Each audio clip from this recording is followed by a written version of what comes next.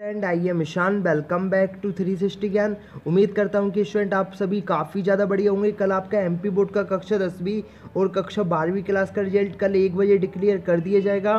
तो इस वीडियो में मैं जानकारी दूँगा कि आपको रिज़ल्ट किस तरीके से देखना है रिज़ल्ट कैसे रहने वाला है और सबसे ज़्यादा इंपॉर्टेंट जानकारी दूँगा कि क्या आप अपने रोल नंबर के बिना और एप्लीकेशन नंबर के बिना रिज़ल्ट को चेक कर सकते नहीं, कर सकते।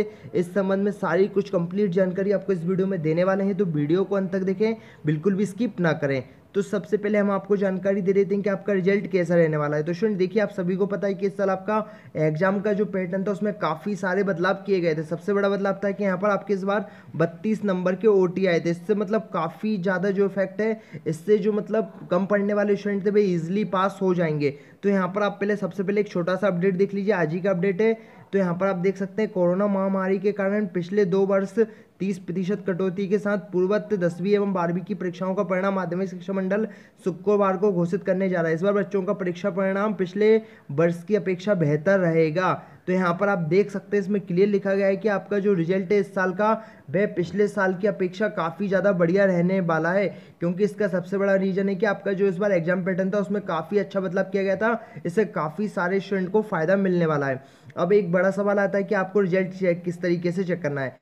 आपको एम पी बोर्ड का कक्षा दसवीं बारहवीं का रिज़ल्ट सबसे पहले चेक करने के लिए आपको प्ले स्टोर को ओपन कर लेना है, और यहाँ पर आपको सर्च में सर्च करना है एम पी बोर्ड रिज़ल्ट आपको इस तरीके से सर्च कर लेना है। सबसे ऊपर जो एप्लीकेशन आ रहा है एम पी बोर्ड रिज़ल्ट 2022 आपको सिंपली इसको डाउनलोड कर लेना है। मैंने इसको ऑलरेडी डाउनलोड कर लिया है। यहाँ पर आपको नीचे आ जाना है। यहाँ पर इसको आपको फाइव स्टार रेटिंग देना है और यहाँ पर आपको कमेंट में एम पी बोर्ड रिज़ल्ट आपको इस तरीके से टाइप करना है। एम पी बोर्ड रिज़ल्ट 2022 आपको यहाँ पर कमेंट करने के बाद आपको सिंपली इस एप्लीकेशन को ओपन कर लेना है। मैं आपको उसको ओपन करके बता देता हूँ। ओपन करने के बाद आपके सामने कुछ इस तरीके का इंटरफेस आएगा। यहाँ पर आपको एक ऑप्शन दिख रहा है टेंथ रिज़ल्ट 2022 ट्वेल्थ रिज़ल्ट 2022 तो हम सिंपली टेंथ रिज़ल्ट 2022 पर क्लिक करते हैं। तो जैसे ही यहाँ पर क्लिक करते हैं, देख सकते हैं आपका जो रिज़ल्ट की डेट है, वह अनाउंस हो चुकी है। आपका रिज़ल्ट उनतीस अप्रैल को एक बजे सिंपली यहाँ पर डिक्लेयर कर दिया जाएगा। यहाँ पर आपको चेक रिज़ल्ट नाउ पर क्लिक करना है। जैसे ही देखिए इसकी जो लिंक एक्टिवेट होगी, यहाँ पर आप अपना रिज़ल्ट आसानी से चेक कर पाएँगे।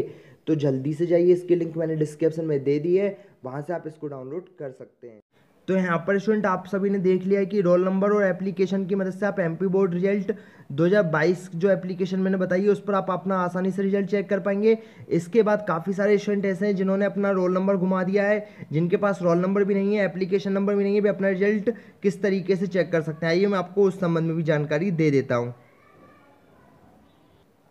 तो यहाँ पर स्टूडेंट आपको मैं जो वेबसाइट बता रहा हूँ, इस वेबसाइट पर क्या था कि पिछले साल तक तो नाम की मदद से काफ़ी सारे स्टूडेंट अपना रिज़ल्ट देख पा रहे थे। तो उम्मीद है कि इस साल भी आपको है वाला ऑप्शन देखना मिलेगा। तो आपको सबसे पहले अपने मोबाइल का ब्राउज़र ओपन कर लेना है। यहाँ पर आपको इस तरीके से सर्च करना है इंडिया रिज़ल्ट दो हज़ार बाईस। तो सबसे पहले जो ऊपर वेबसाइट आ रही है इंडिया रिज़ल्ट डॉट कॉम आपको सिंपली इसको ओपन कर लेना है। तो आप जैसे ही ओपन करेंगे, आपके सामने कुछ इस तरीके से इंटरफेस आ जाएगा। तो यहाँ पर आपको जो एमपी यानी मध्य प्रदेश वाला ऑप्शन है सिंपली इस पर क्लिक कर देना है। तो आप जैसे ही इस पर क्लिक करेंगे, आपके सामने एक न्यू इंटरफेस ओपन हो जाएगा। यहाँ पर आप देख सकते हैं न्यू इंटरफेस ओपन हो चुका है। तो यहाँ पर सबसे ऊपर जो ऑप्शन आ रहा है board of secondary education MP आपको सिंपली इस पर क्लिक कर देना है। जैसे ही आप इस पर क्लिक करेंगे, आपके सामने न्यू विंडो ओपन हो चुका है।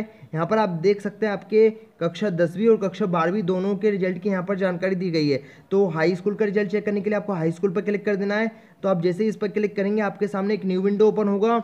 यहाँ पर आप देख सकते हैं हाई स्कूल का ऑप्शन भी आ गया है हायर सेकेंडरी का भी आ गया है। तो यहाँ पर आपको देखिए, एक रोल नंबर का ऑप्शन भी दिया गया है, नाम का भी दिया गया है।